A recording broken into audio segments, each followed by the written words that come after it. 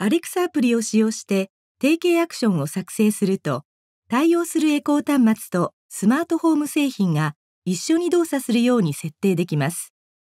例えば、アレクサにおはようと話しかけたときに照明をつけるよう設定できます。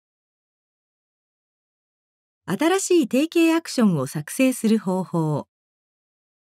メニューから定型アクションを選択します。画面右上のプラスのアイコンを選択します。